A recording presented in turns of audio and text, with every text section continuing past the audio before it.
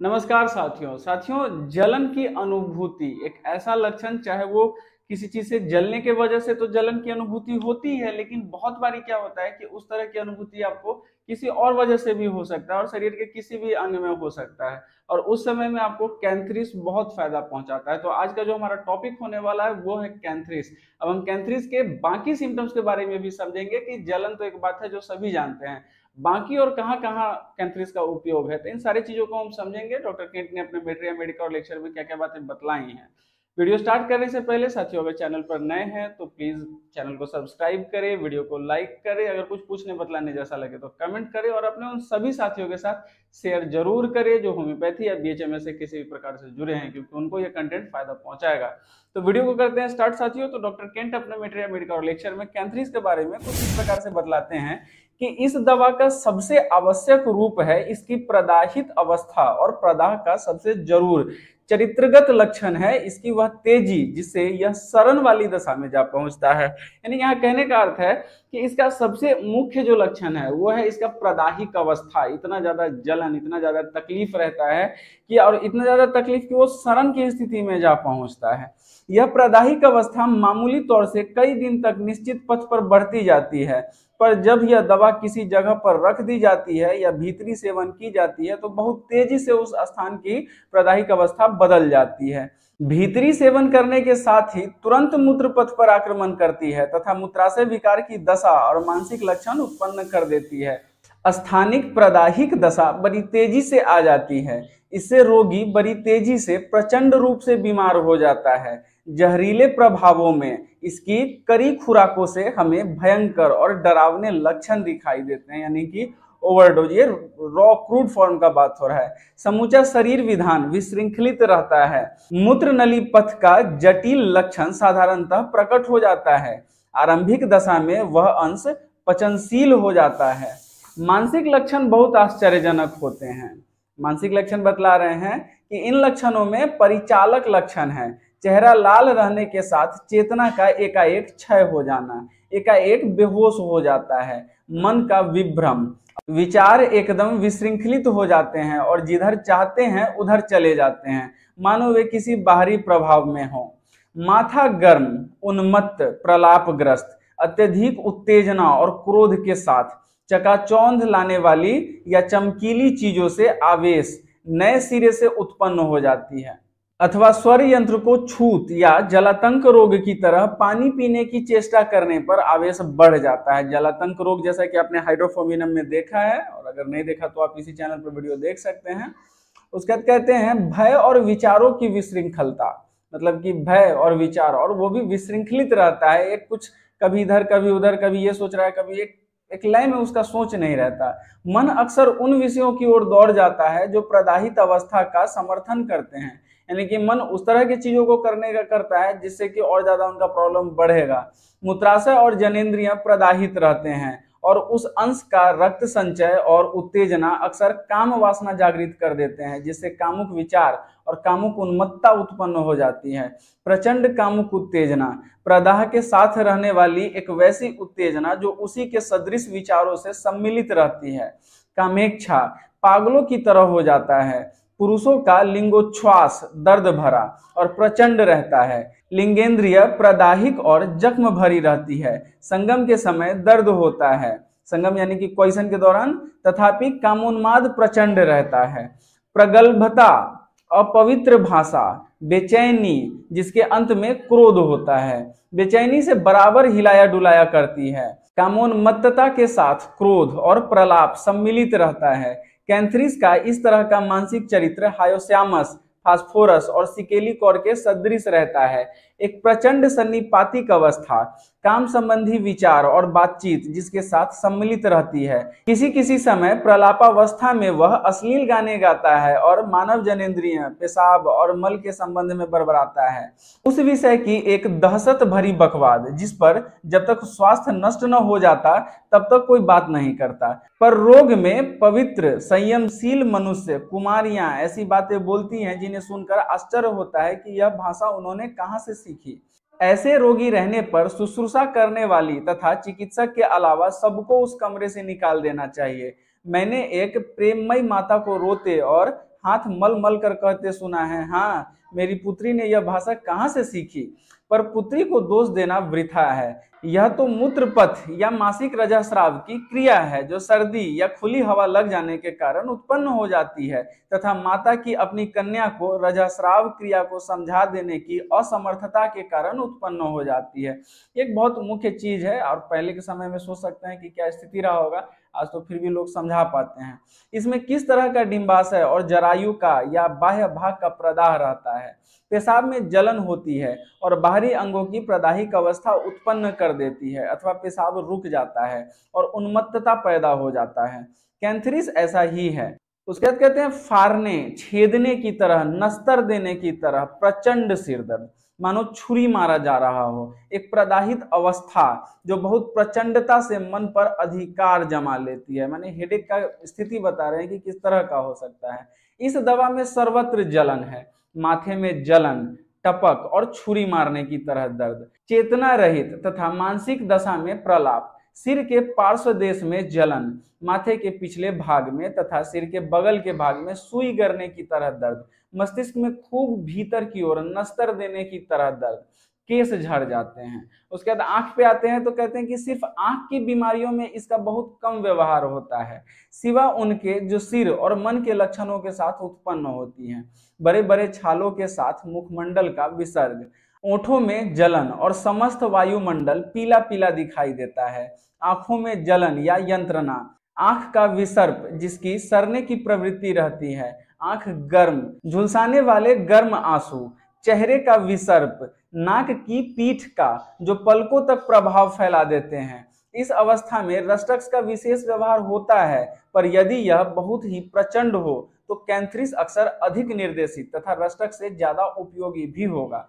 Rhus tox में जलन और छाले होते हैं, पर कैंथ्रिस में आपके दो बार देखने जाने के बीच में ही विसर्प काला या धुमैला हो जाएगा। मतलब आप दो बार, एक से दूसरा बार जब देखने जाते हैं उसी बीच में जो विसर्प होगा, उस, वो डिफर हो जाएगा, उसके कलर में, उसके अपियरेंस में डिफरेंस दिखेगा आपको।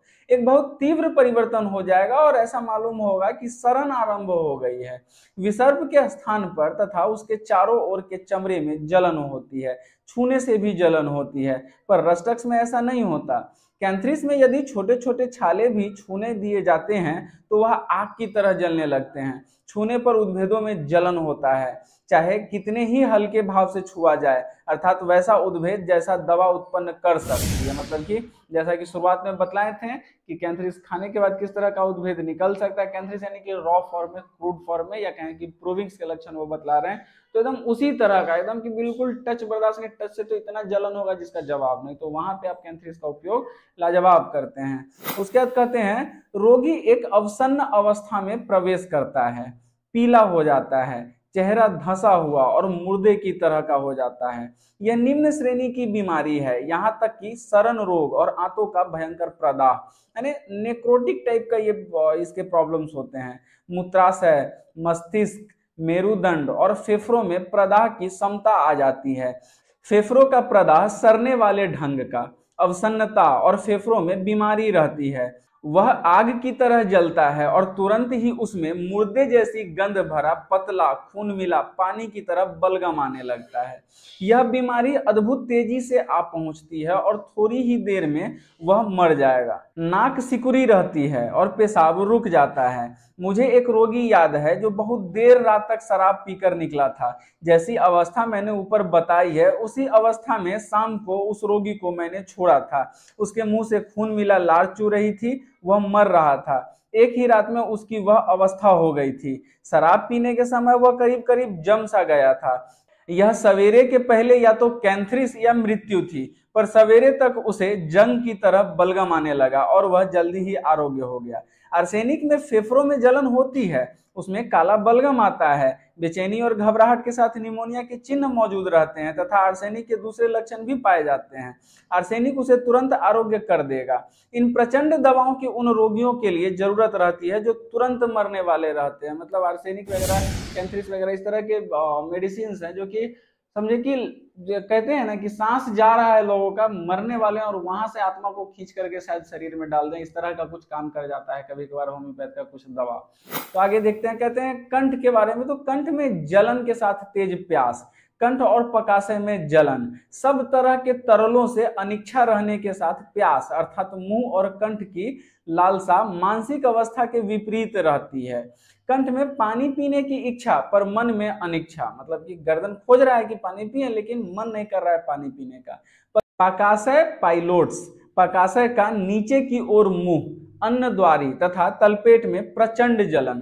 तलपेट फूला और डबडबाया रहता है, नस्तर देने की तरह, जैसे कि मतलब काटा गया हो, काटने और छुरी धसाने जैसा दर्द। जहाँ कहीं आंतों की तेज़ी से खून मिले दस्त, आंतों और पकाशय से आते हैं इसी तरह पानी जैसा खून मिला श्राव आँखों से भी होता है और जहाँ कहीं यह पानी की तरह तरल चमड़े से सटता है या लगता है, वहीं जलन होती है और खाल उधर जाती है। खून मिला पेशाब। उसके बाद यूरिनल सिम्टम्स आते हैं कि पेशाब करने के समय ही पैखाना लगाना। रोगी पखाने में जाकर बैठ जाएगा। मल मूत्र का भयानक वेग होगा।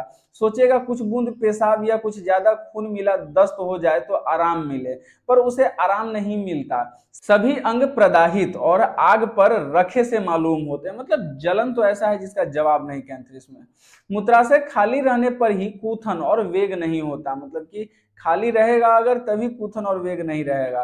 पर अक्सर मूत्राशय भरा रहने पर होता है। मतलब मूत्राशय भरा भी तो रहता है।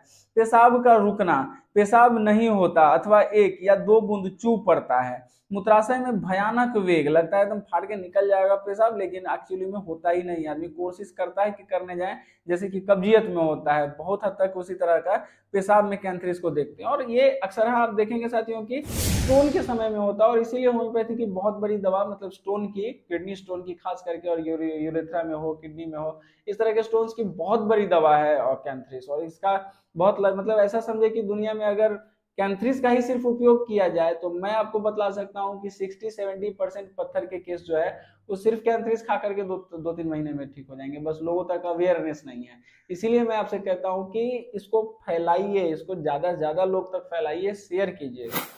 आगे देखते हैं। कहते हैं, वेग के साथ नस्तर देने या छुरी से काटने की तरह मूत्राशय ग्रीवा में दर्द। दर्द भिन्न भिन्न दिशाओं की ओर छिटकता है।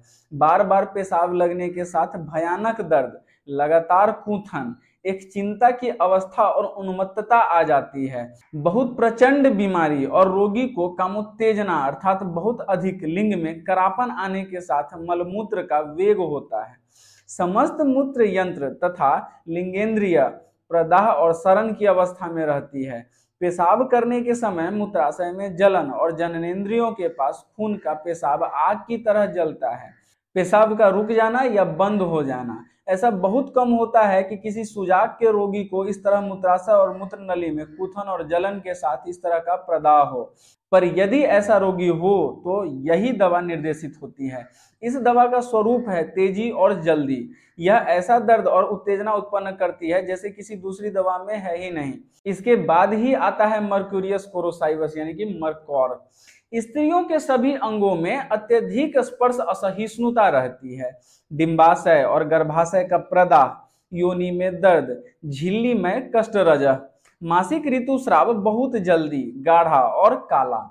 सूतिका छेप, यानी कि सूतिका गृह में होने वाली अकरण फूल का भीतर रुक जाना, जलन का दर्द, जब परिश्राव का बाहर निकालने वाला दर्द नहीं रहता तथा इसके साथ ही इसके सब लक्षण रहते हैं तो इसका प्रयोग होने के बाद गर्भाशय का स्वाभाविक आरंभ हो जाता है और झिल्ली को निकाल देता है। छेद करने की तरह प्रचंड दर्द। यह मूत्रपिंड और पीठ की राह से होता है। कमर, गुर्दा और तलपेट में दर्द।